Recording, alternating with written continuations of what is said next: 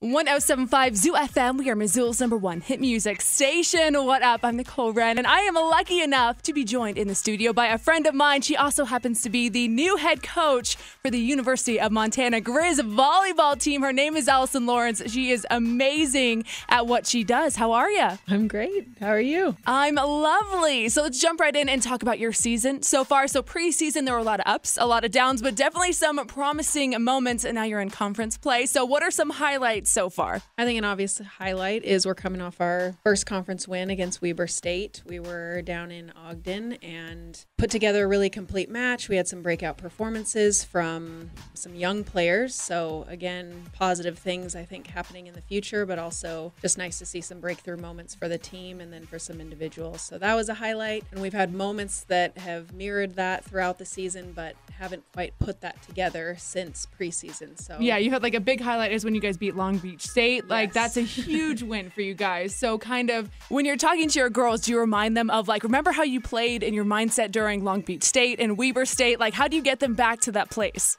Yeah, those wins in preseason, Long Beach State especially, gave us a lot of confidence that we can be a good team and perform under pressure. And we just we try to visualize those moments and we try to recreate those in practice. And I'm nothing but positive with our players. I have unwavering belief in them. So I think we get back to that place pretty frequently. It's just putting that together for an entire match. So the other day, I went to your guys' Sacramento State game with my brother Sean, and some of our other friends were there because we all used to play volleyball. So we we just have a huge love for the game. And uh, you guys are a very young team. There's so much potential, and it was a really fun game to watch. So how do you develop your younger players because you have a younger team? How do you develop them into the players that you know that they're going to be? I think the key for us is in practice, putting them under a lot of pressure to where we get right up to that point of maybe a little bit less confidence, maybe a little bit of fear of can I push through and, and execute? When it's on the line so that if we do that in practice and we make the right decision in practice, we know come game time, we're not as stressed about that same decision. And I think that's just been the story of our season. We've gone right up to that point in a match and then somehow backed off or made a tentative decision, missed a serve, things like that. And then we've watched our aggression slip away. And I think just back to practice, let's work on that exact moment and then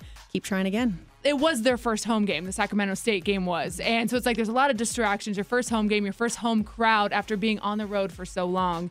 Uh, so it kind of only makes sense that they were a little bit distracted, but they looked good, and there were a lot of really good highlights and uh, and points to be proud of. So, what are your overall goals for the season? Our goals for this season are to get better every day, and that's a cliche thing to say, but that's really our mentality is to learn in every moment, whether it's a high or a low, to give to our teammates. We want to be givers. We want to be playing for the person, the athlete next to us, playing for our fans, and really being the people and the competitors that we want to be long term. And there are no quick fixes to success. If that leads to outcomes this season that we want, great. Um, but we believe that that is going to lead to better outcomes down the road. So we've got our short term vision and in place, and we've just got to keep working towards our long term vision as well. Totally. So when's uh, everyone's next chance to catch a game? 7 p.m. Friday. We play UNC. It's going to be a great match. And then we've got UND the following night after the homecoming football game. And so it's a great time. You get in free after the football game with your football ticket. Um, it's just a great time to get even more Grizz on your Saturday. Yeah, you're already there. You go to the homecoming parade in the morning, the Grizz football game in the afternoon, and then Grizz volleyball, of course, at night to wrap up homecoming Saturday. So you can find all the info on the Grizz volleyball team, including their schedule, up online right now. 1075zoofm.com. So Allison Lawrence is the new head volleyball coach for the Grizz.